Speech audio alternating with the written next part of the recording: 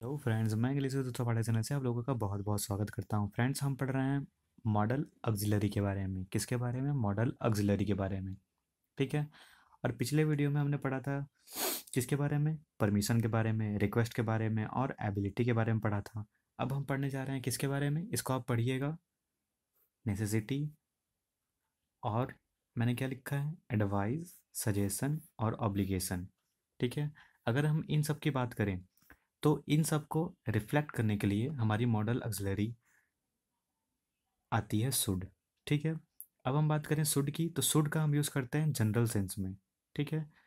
General sense में general sense का मतलब क्या हुआ? कि कोई भी, किसी को भी आजकल सजेशन देता हुआ घूम रहा है, ठीक है?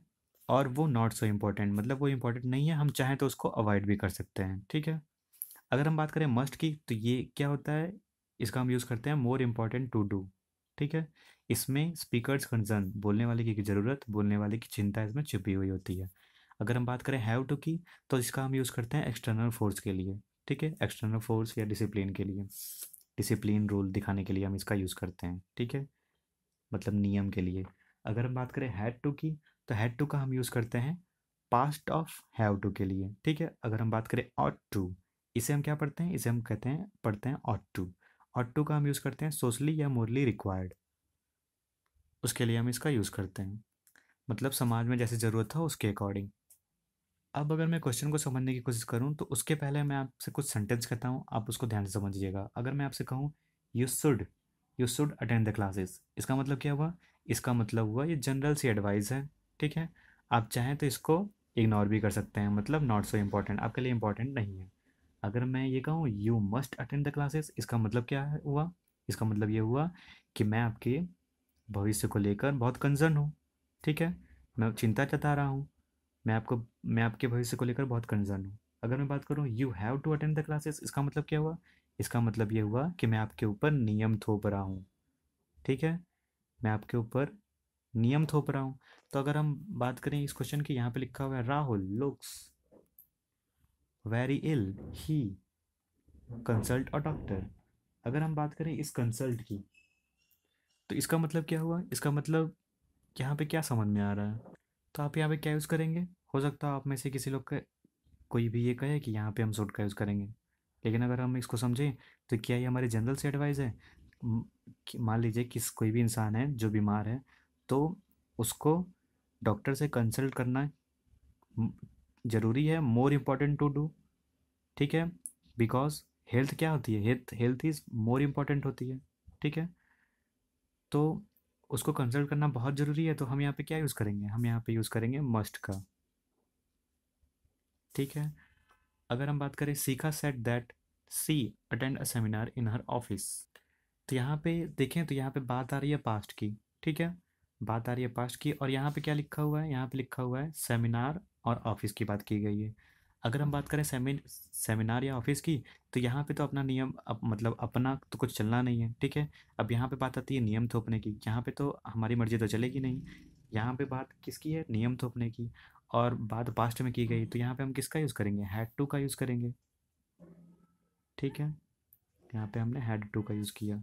अब यहाँ पे अगर हम बात करें Raunak change his car at it looks old अब मान लीजिए कि किसी भी इंसान की कार है ठीक है?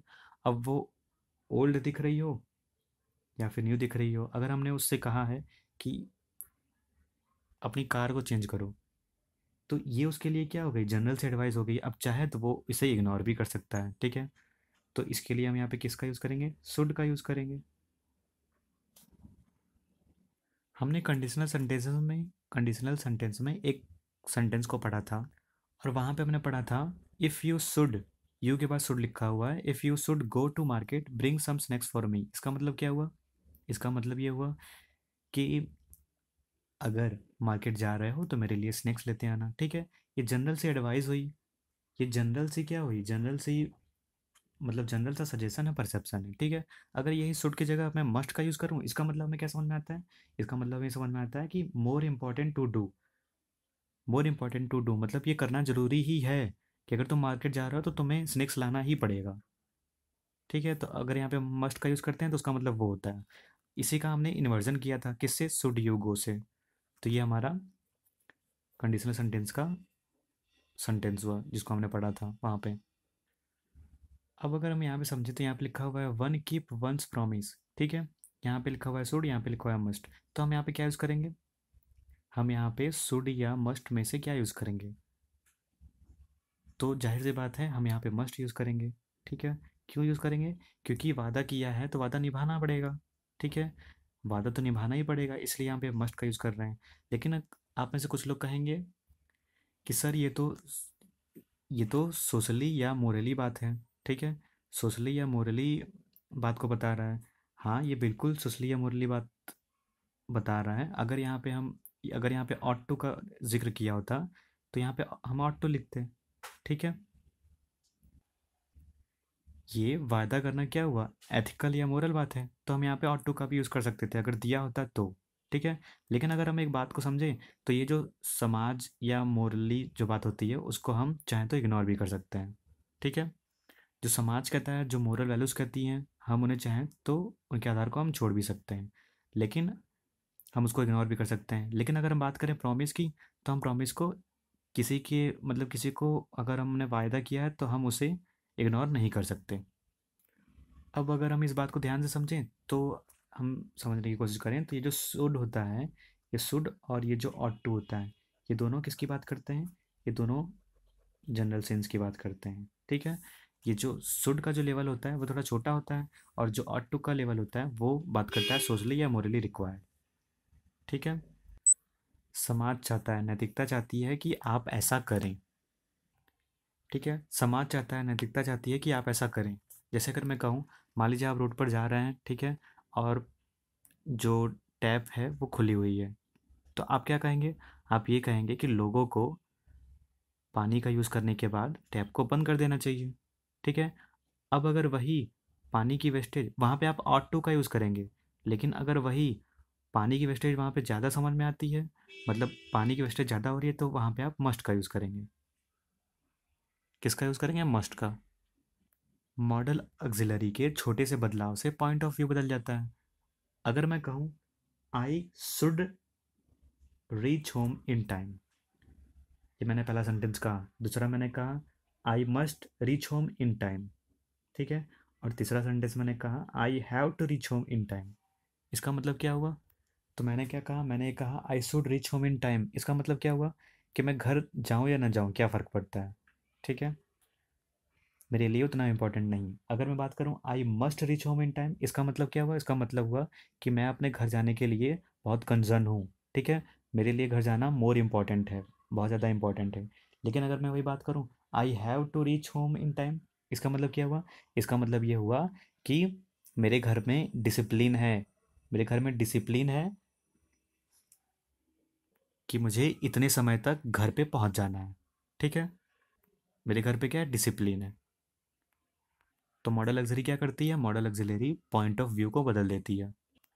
अगला लिखा हुआ है we pay the tax otherwise the department may might penalize इसे पढ़ते हैं पिनेलाइज अस पैनल तो हम उसे कहते हैं जो जो किसी के फ्रेम की बात करता है।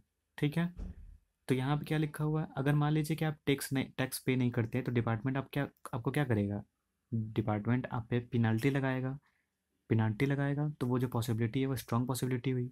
जब स्ट्रॉन्ग पॉसिबिलिटी हुई तो यहाँ पे हम किसका यूज़ करेंगे? यहाँ पे हम यूज़ करेंगे मे का। ठीक है? अगर हम बात करें तो ये जो बात हुई, वो नियम की बात हो गई। जब नियम की बात हो गई तो यहाँ पे हम किसका यूज़ करेंगे? जब बात है नियम की तो हम यहाँ पे यूज़ करेंगे किसका? हैव टू का यूज़ करेंगे। ठीक है? आप यहाँ पे अपनी मर्ज़ी नहीं दिखा रहे हो, ठीक है? जो डिपार्टमेंट है वो पिनेलाइज कर रहा है, आप पे पेनल्टी लगा रहा है तो हमने मे का यूज़ किया, ठीक है? आप यहाँ पे मर्ज़ी नहीं दिखा रहे हैं, ये बात है नियम की, इसलिए यहाँ पे हमने हैव टू का यूज़ किया। अब स्टूडेंट चाहें तो इसको मिस रीड भी कर सकते हैं। कैसे? वो ये कह सकते हैं, वो ये कह सकते हैं कि सर यहाँ पे हम मस्ट का यूज़ कर सकते हैं, कंजर्न भी तो दिखा सकते हैं। अगर आप मस्ट का यूज़ कर रहे हैं तो आपके सामने इतनी बातचीत यहाँ तक, इतनी बातचीत नहीं कहनी चाहिए, नहीं कहनी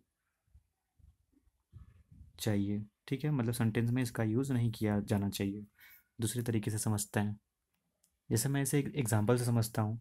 जैसे मैंने आपसे कहा यू शुड वियर हेलमेट मान लीजिए कि आप बाइक से मेरे सामने आ रहे हैं, ठीक है? मेरे सामने मतलब मेरे सामने से गुजर रहे हैं। तो मैं बाइक मैंने बाइक को रोक के कहा यू शुड वियर हेलमेट फिर मैंने दूसरा सेंटेंस कहा यू मस्ट वियर हेलमेट फिर मैंने तीसरा सेंटेंस कहा you have to wear helmet तो मैंने कहा यू शुड वियर हेलमेट इसका मतलब क्या हुआ? इसका मतलब ये हुआ कि आपके लिए जनरल से बात हुई, आप पहने चाहे ना पहने क्या फ़र्क पड़ता है, ठीक है? लेकिन अगर मैं कहूँ यू मस्ट वियर हेलमेट इसका मतलब क्या हुआ? कि मैं आपके भविष्य को लेकर कंजर्न हूँ, मैं आपके भविष्य को लेकर चिंतित हूँ, ठीक है? और आपके लिए हेलमेट पहनना बहुत ज़रूरी है। अगर मैं बात करूँ you have to wear helmet इसका मतलब क्या हुआ? इसका मतलब ये हुआ कि हेलमेट पहन लो, नहीं तो आगे पुलिस खड़ी है, वो क्या करेगी? वो आपका चलान कर देगी, आपका टिकट काट देगी। तो मॉडल एक्सलरी के छोटे से चेंज से पॉइंट ऑफ़ व्यू जो होता है, वो बदल जाता है और मॉडल एक्सलरी क्या करती है? पॉइंट ऑफ़ व्यू को दिखाती है। फिर हम अगले की बात करते हैं, यहाँ पर लिखा हुआ है वी रिस्पेक्ट द एल्डर्स मतलब समाज चाहता है कि हमें बड़ों की इज़्ज़त करनी चाहिए। तो ये समाज की बात हुई, इसलिए हमने यहाँ पे क्या यूज़ किया? हमने यहाँ पे यूज़ किया ऑट टू ठीक है? अब यहाँ पे लिखा हुआ है, Ravi return the money which he borrowed from me अगर इसको हम समझें, इसको हम समझें कि किसी इंसान ने पैसा लिया है, ठीक है? तो अगर हम समाज के हिसाब से समझें तो किसी इंसान ने पैसा लिया है तो उसको लौटाना भी चाहिए। क्या कोई समाज के हिसाब से ये काम करता है? नहीं। अगर आपको पैसा मतलब रिटर्न लेना है तो आपको अपना कंसर्न दिखाना पड़ता है। ठीक है, आपको अपना कंसर्न दिखाना पड़ता है। अगर हम यहाँ पे हैव टू का यूज़ करें तो इसका मतलब क्या हुआ? इसका मतलब ये हुआ कि आपने कोई लीज या डील डिसिप्लिन के अकॉर्डिंग साइन की हुई है। लेकिन आपने ऐसा यहाँ तो कुछ किया नहीं ठीक है तो यहाँ पे हम किसका यूज़ करेंगे? यहाँ पे हम यूज़ करेंगे मस्ट का। किसका यूज़ करेंगे हम यहाँ पे? मस्ट का यूज़ करेंगे। मॉडल एक्सलरी मीनिंग और पॉइंट ऑफ़ व्यू दोनों को बदलती है। यहाँ पे हमारा पॉइंट ऑफ़ व्यू बदल गया। ठीक है? अब हमारे सामने बात आती है पर्पज़ की, ठीक है? पर्पज़ को अगर समझने की कोशिश करें तो मैं जैसे आपको एक सेंटेंस कहता हूँ। मैं इंग्लिश पढ़ता हूँ ताकि मैं एग्ज़ाम क्वालिफाई कर सकूँ। यहाँ पे आप ऑब्ज़र्व करिएगा पर्पस क्या है? मेरे दोस्त ने लाल टी शर्ट पहनी है ताकि वो खूबसूरत दिख सके। पर्पस क्या है? इसका मतलब हमें समझ में आया कि पर्पस दिखाने के लिए पर्पस बताने के लिए हमें एक नहीं, हमें दो सेंटेंसेस की ज़रूरत होती है, ठीक है?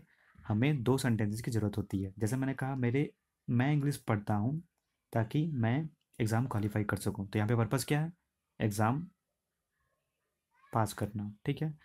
तो एक्शन हम यहाँ पे क्या है? पढ़ना। मेरे दोस्त ने लाल टी शर्ट पहनी है ताकि वो खूबसूरत दिख सके। तो यहाँ पे पर्पज़ क्या है? खूबसूरत दिखना, ठीक है? तो एक्शन क्या हुआ हमारा? इसका मतलब हमें ये समझ में आया कि पर्पस बताने के लिए हमें एक नहीं, हमें दो सेंटेंसेस की ज़रूरत होती है, ठीक है? एक बताता है हमें एक्शन और एक बताता है हमें पर्पस ठीक है? और इन्हें जोड़ने के लिए किसकी ज़रूरत होगी? प्रपोजिशन की नहीं, इन्हें जोड़ने के लिए हमें कंजंक्शन का यूज़ करना होगा। इन्हें जोड़ने के लिए हम कंजंक्शन का यूज़ करते हैं, ठीक है? अब नियम कहता है नियम क्या कहता है कि इन्हें हम जोड़ने के लिए कंजंक्शन सो दैट का यूज़ करते हैं। वैसे हम कंजंक्शन पढ़ चुके हैं, ठीक है? आप जाके कंजंक्शन की वीडियो को देख सकते हैं। इनको जोड़ने के लिए हम सो दैट का यूज़ करते हैं, ठीक है? अगर हमारा एक्शन प्रेजेंट में है तो हम किसका यूज़ करते हैं? तो हम यूज़ करते हैं पर्पस दिखाने के लिए मॉडल एक्सिलरी मे का। अगर हमारा एक्शन पास्ट में है तो हम अपना पर्पस बताने के लिए यूज़ करते हैं माइट का। ठीक है? अब हम इसको एक एग्ज़ाम्पल से समझते हैं। तो यहाँ पे लिखा हुआ है he worked hard so that he will qualify the exam यहाँ पे जो एक्शन लिखा हुआ है, वो पास्ट में लिखा हुआ है, ठीक है? एक्शन पास्ट में लिखा हुआ है। जो भी लिखा हुआ है हमारा एक्शन ये पास्ट में लिखा हुआ है। पास्ट में लिखा हुआ है, उसके बाद हमने यहाँ पे सो दैट का यूज़ किया। यहाँ पे सो दैट लिखा हुआ है तो पास्ट के बारे में बात कर रहा है तो यहाँ पे हम विल को हटा के किसका यूज़ करेंगे? माइट का यूज़ करेंगे पर्पज़ दिखाने के लिए। ठीक है? यहाँ पे लिखा हुआ है run fast so that you can catch the bus यहाँ पे जो हमारा एक्शन है वो किसमें है प्रेजेंट में है। एक्शन प्रेजेंट में है उसके बाद किसका यूज़ किया गया? सो दैट का यूज़ किया गया। तो प्रेजेंट की बात किया है तो यहाँ पे हम पर्पस दिखाने के, के लिए किसका यूज़ करेंगे? मे का यूज़ करेंगे। ठीक है? अब इस सेंटेंस को ध्यान से देखिए। ये कॉमन सेंस का एक क्वेश्चन है। Will leave so that we will eat यहाँ पे हम कैसे करेक्शन करेंगे? तो अगर हम इस सेंटेंस को समझें तो जो तुक्केबाज होते हैं, वो क्या बोलते हैं? वो बोलते हैं कि बच्चों, सो दैट के बाद हम मे या माइट का यूज़ करते हैं, ठीक है? इसके बाद आप ना पूछेंगे और ना मैं आपको बताऊँगा, ठीक है? और ऐसी बी आत्माएँ हमेशा बी करके आती हैं। यहाँ पे तो हम तुक्का नहीं लगा रहे हैं, यहाँ पे तो हम समझने की कोशिश कर रहे हैं। और इस सेंटेंस को देखकर हमें ये समझ में आता है कि कहीं यहाँ पे पर्पस की जगह एक्शन और एक्शन की जगह पर्पस तो नहीं बताया गया है, ठीक है? अगर ऐसा यूज़ हुआ है तो यहाँ पे हम देखने की कोशिश करें तो हम यहाँ पे क्या लिखेंगे? हम यहाँ पे लिखेंगे वी के साथ इट क्योंकि ये हमारा क्या है? एक्शन है, ठीक है? Will live so that we will eat तो हमारा एक्शन क्या है? हमारा एक्शन है इट ये हमारा एक्शन हुआ, उसके बाद हम, हमने लिखा सो दैट ठीक है? हमने लिव की जगह क्या लिखा? इट को लिखा। और फिर यहाँ पे हमने वी के बाद ये जो विल लिखा है, यहाँ पे हम किसका यूज़ करेंगे? मे का यूज़ करेंगे, ठीक है? पर्पस दिखाने के लिए हमने मे का यूज़ किया वी में लीव ठीक है? तो हमें ये ध्यान रखना होगा कि कभी कभी एग्ज़ाम में एक्शन की जगह पर्पस और पर्पस की जगह एक्शन का यूज़ किया जाता है, ठीक है? अगला हमारे सामने पॉइंट आता है और अगला हमारा कॉन्सेप्ट ये है कि एक्शन तो एक्शन और पर्पस हमें लिखा हुआ मिले और कंजंक्शन की जगह हम यूज़ करें किसका? कंजंक्शन की जगह हम यूज़ करें किसका? लेस्ट का। किसका? लेस्ट का। इसे हम पढ़ते हैं लेस्ट लिस्ट नहीं, इसे हम पढ़ते हैं लेस्ट ठीक है? अब इस लेस्ट का मतलब क्या होता है? इसका, इस लेस्ट का मीनिंग क्या होता है? हाँ इस लेस्ट का मीनिंग क्या होता है? इस लेस्ट का मीनिंग होता है, कहीं ऐसा न हो। आप यही कहने की कोशिश कर रहे होंगे, कहीं ऐसा न हो। इसका मतलब क्या हुआ? इसका मतलब ये हुआ कि इसके अंदर ही निगेटिव मीनिंग छुपी हुई है। इसके अंदर ही जब निगेटिव मीनिंग छुपी हुई है, इसलिए पर्पस बताने के लिए हम इसके साथ नॉट का यूज़ नहीं करते, ठीक है? पर्पस बताने के लिए हम नॉट का यूज़ नहीं करते। अगर हम बात करें पर्पस बताने के लिए अब हमें एक मॉडल एक्सिलरी भी चाहिए, ठीक है? तो मॉडल एक्सिलरी के लिए हम यूज़ यूज़ करते हैं किसका? सुड का यूज़ करते हैं, ठीक है? मॉडल एक्सिलरी के लिए हम सुड का यूज़ करते हैं। किसका यूज़ करते हैं? सुड का।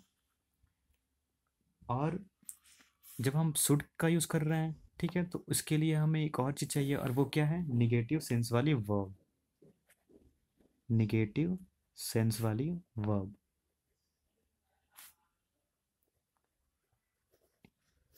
इसका हम यूज़ करते हैं पर्पस बताने के लिए, ठीक है?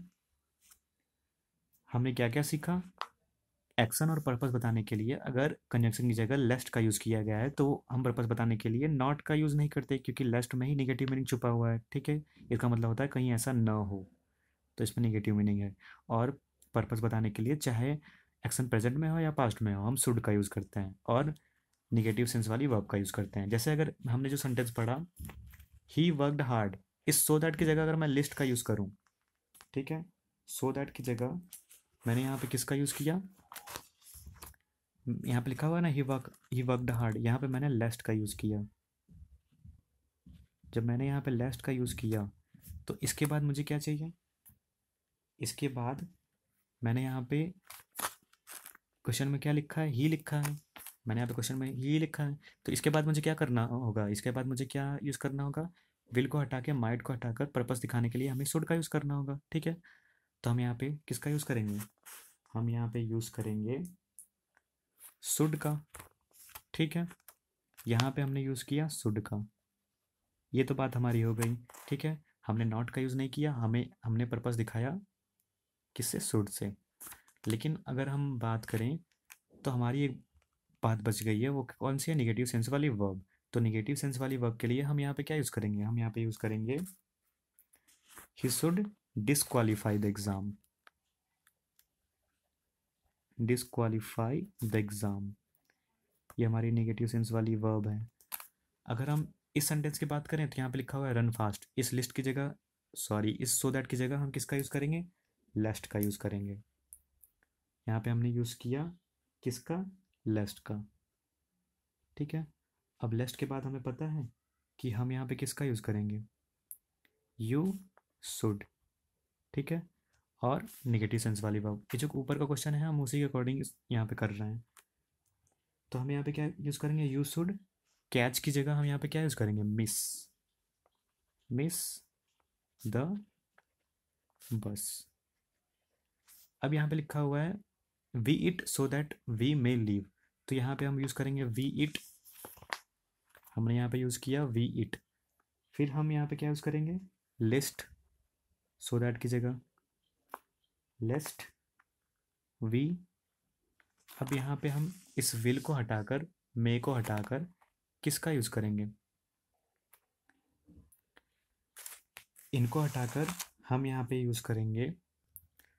अब यहाँ पे अगर हम समझें तो अगर यहाँ पे हम हिंदी से समझें, जैसे आपके हिंदी हिंदी के टीचर ने आपको बताया होगा कि सुड का मतलब क्या होता है? चाहिए, ठीक है? सुड का मतलब होता है चाहिए। इसका मतलब क्या हुआ? इसका मतलब यहाँ पे ये समझ में आया कि यहाँ पे तो मर जाना चाहिए। इसका मीनिंग तो यही निकल के आ रहा है कि मर जाना चाहिए। तो हमने मॉडल एक्जली का अब तक यूज़ कैसे किया है? हिंदी में किया है, ठीक है? लेकिन इसे हमें कैसे समझना है? इसे हमें समझना है लैंग्वेज के तरीके से मतलब इंग्लिश में समझना है। आइए समझने की कोशिश करते हैं। जैसे मैंने यहाँ पे लिखा सी इज़ नॉट केयरलेस ठीक है? यहाँ पे लिखा हुआ है सी इज़ नॉट केयरलेस तो अगर हम इस नॉट को समझें तो ये निगेटिव मीनिंग बता रहा है, ठीक है? और इस केयरलेस को समझें तो ये भी निगेटिव मीनिंग को बता रहा है, ठीक है? और मैथमेटिक्स ने एक बहुत अच्छी बात सिखाई है, और वो क्या है? निगेटिव इंटू निगेटिव मिलके क्या बनाता है? वो मिलके बनाता है पॉजिटिव ठीक है? निगेटिव इंटू निगेटिव मिलके क्या बनाता है? पॉजिटिव बनाता है। यहाँ पे ये तैयार कर रहा है पॉजिटिव मीनिंग ठीक है? जैसे अगर हम समझें, मैं कहूँ, मैं झूठ नहीं बोलता। इसका मतलब क्या हुआ? झूठ निगेटिव नहीं निगेटिव मिलके क्या बना रहे हैं? पॉजिटिव मीनिंग बना रहे हैं। तुम देरी से नहीं आए। देरी निगेटिव नहीं निगेटिव मिलके क्या क्या तैयार कर रहे हैं? मिलके पॉजिटिव मीनिंग तैयार कर रहे हैं। ठीक है? अगर हम इसको यहाँ पे समझें तो यहाँ पे हमने कंजंक्शन के तौर पर लेस्ट का यूज़ किया। ठीक है? लेस्ट निगेटिव और यहाँ पर निगेटिव सेंस वाली वर्ब है तो ये भी निगेटिव मिलके ये क्या बना रहे हैं? मिलके ये पॉजिटिव मीनिंग को तैयार कर रहे हैं, ठीक है? तो यहाँ पे हमने ये समझा कि ये लिस्ट लेस्ट क्या है? ये निगेटिव है, ठीक है? और ये डाई क्या है? ये निगेटिव है. और ये मिल के क्या बना रहे हैं? ये मिल के पॉजिटिव मीनिंग को तैयार कर रहे हैं, ठीक है? तो इसी को हम कहते हैं लैंग्वेज इसी को हम कहते हैं कि मॉडल अग्जरी को इसी तरह से हमें पढ़ना है. उम्मीद है दोस्तों आपको ये वीडियो पसंद आई होगी। आप इसे लाइक और सब्सक्राइब करिएगा और कल हम एक बहुत ही बड़ा खुलासा करेंगे कि फ्यूचर नाम का कोई टेंशन नहीं होता, ठीक है? और वो क्यों नहीं होता, इसका हम कल खुलासा करेंगे। तब तक के लिए आप देखते रहिए मेरे वीडियोस। धन्यवाद।